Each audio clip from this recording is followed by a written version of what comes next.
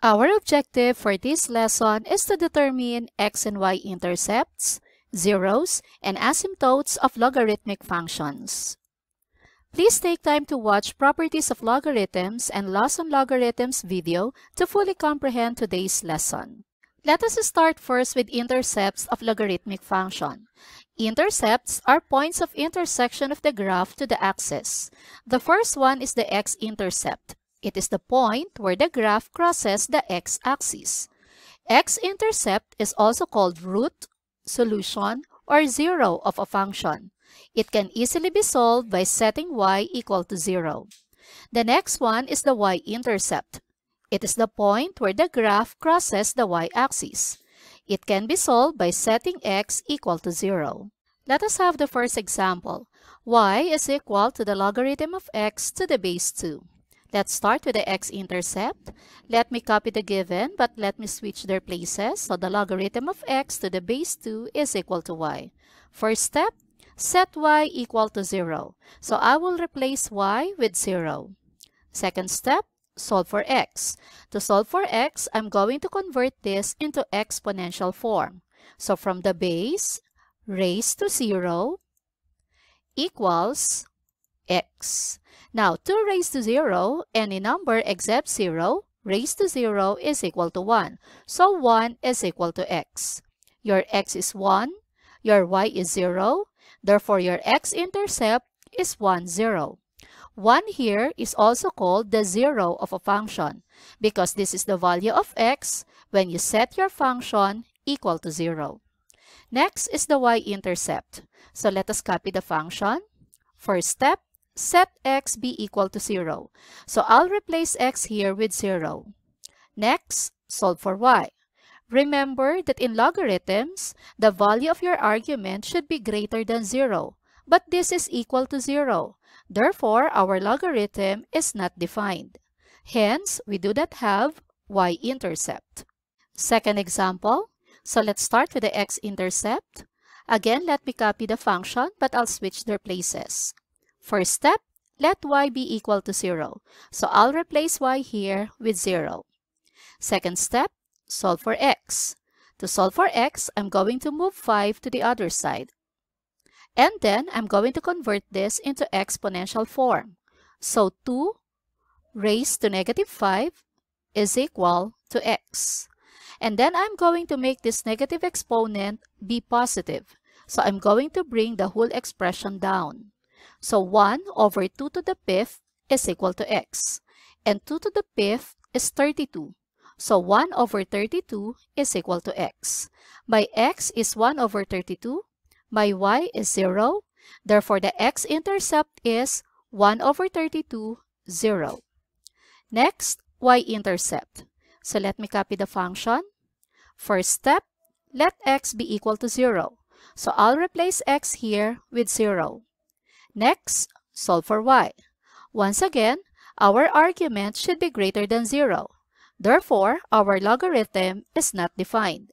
So, we do not have y-intercept. Third example, y is equal to the logarithm of quantity x minus 2 to the base 2 minus 4. So let's start with the x-intercept. Again, I'll copy the function but I'll switch their places. First step, let y be equal to 0. So I'll replace this with 0. Next, solve for x. To solve for x, I'll move negative 4 to the other side. And then I'll convert this into exponential form. So 2 raised to 4 is equal to x minus 2. 2 raised to 4 is 16. So 16 is equal to x minus 2. Since I'm solving for x, I'm going to move negative 2 on this side. So 16 plus 2 is equal to x. 16 plus 2 is 18. x is 18, y is 0. Therefore, the x-intercept is 18, 0. This means that my graph will cross the x-axis at 18, 0.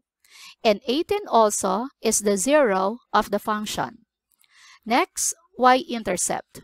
So let me copy the function and then let x be equal to 0. Then solve for y.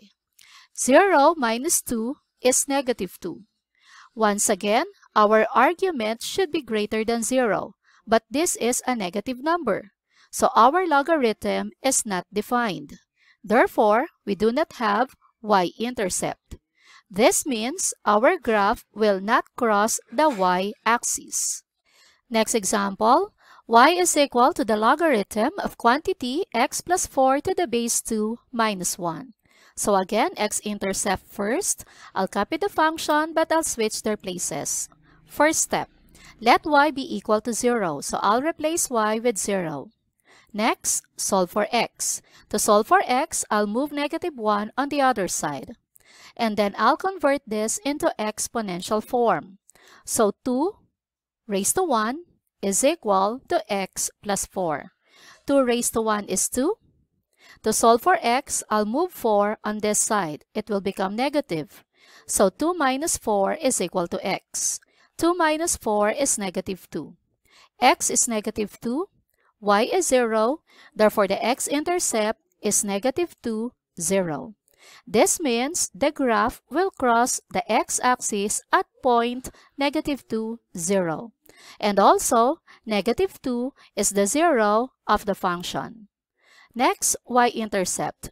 I'll copy the function and then let x be equal to 0 and then solve for y. 0 plus 4 is 4. I'll express 4 as 2 squared.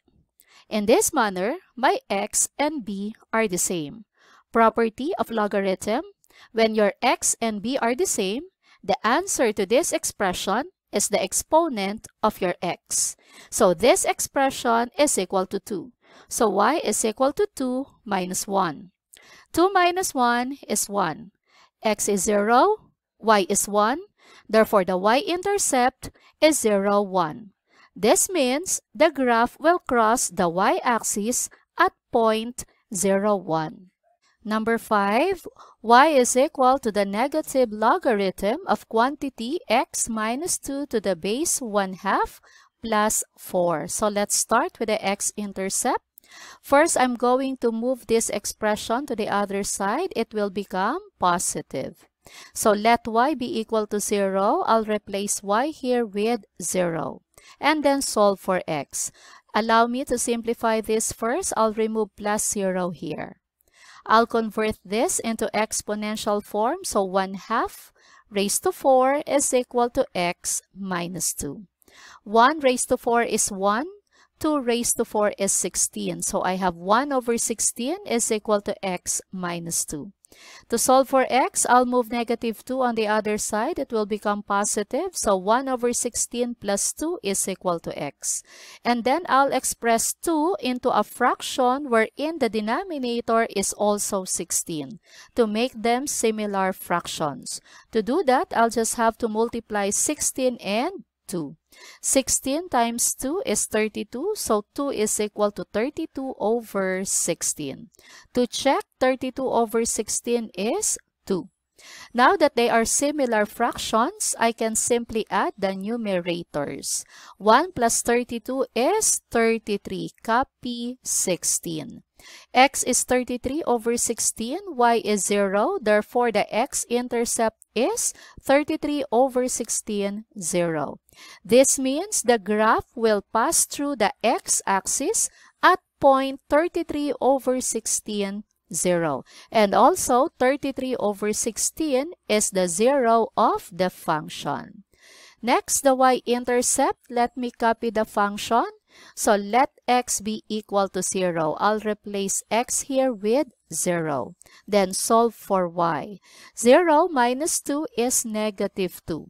Again, the argument should be greater than 0. Since this is a negative number, then our logarithm is not defined. Therefore, we do not have y-intercept. It means our graph will not pass through the y-axis. Let us have one more. y is equal to the logarithm of logarithm of quantity 3x minus 2. So I'll copy the function but I'll switch their places. So let y be equal to 0. I'll replace this with 0. and then solve for x. So to solve for x, I'll convert this into exponential form. This is a common logarithm, so the base here is 10. So 10 raised to 0 is equal to the logarithm of 3x minus 2. 10 raised to 0 is 1. Then I'll convert this again into exponential form. Again, my base here is 10 because this is a common logarithm. So 10 raised to 1 is equal to 3x minus 2. 10 raised to 1 is 10 and then I'll move negative 2 on this side. It will become positive. So 10 plus 2 is equal to 3x. 10 plus 2 is 12. Dividing both sides by 3, 3 and 3 will be cancelled out. 12 divided by 3 is 4. So 4 is equal to x. x is equal to 4, y is equal to 0. Therefore, the x-intercept is 4, 0. It means the graph of this function will cross the x-axis at point 4, 0. And also, 4 is the 0 of the function. For the y-intercept, I'll copy the function. Let x be equal to 0, so I'll replace this with 0 and then solve for y. 3 times 0 is 0. 0 minus 2 is negative 2. So, negative 2, that is less than 0. Therefore, our logarithm is not defined. So, we do not have y-intercept. This time, let us have asymptotes. These are dashed lines to which a graph gets closer and closer as the x or y increases or decreases its value without bound. They serve as boundary lines in which the graph of the function approaches. There are three kinds of asymptotes, vertical, horizontal, and slant or oblique. However, logarithmic functions only have vertical asymptote. Vertical asymptote of logarithmic function graphed as vertical dashed line. It is the value of x as the graph approaches towards positive or negative infinity. To solve for the vertical asymptote, equate the argument equal to 0 and solve for the value of x. Let's have the first example. So our argument here is x. So x is equal to 0. Therefore, that is our vertical asymptote. x is equal to 0. Another example, our argument here is x minus 1. So let us equate that to 0. To solve for x, let us move negative 1 on the other side. Therefore, the vertical asymptote is x equals 1. Another one, our argument here is x plus 2. So x plus 2 equals 0. Moving 2 to the other side, x equals negative 2. So vertical asymptote is x equals negative 2. One more. So our argument here is 2x minus 5. Let us equate that to 0. Let us move negative 5 on the other side. Let us divide both sides by 2. So 2 and 2 will be cancelled out. So x is equal to 5 over 2. Therefore, our vertical asymptote is x equals 5 over 2. This is the summary of what we have discussed. Finding the zero is the same as finding the x-intercept. To solve for the x-intercept, set y equal to 0 and solve for x. To solve for the y-intercept, set x equal to 0 and solve for y. To find the vertical asymptote, equate the argument equal to 0 and then solve for the value of x. Now, it is time to check your understanding. Pause this video for more time.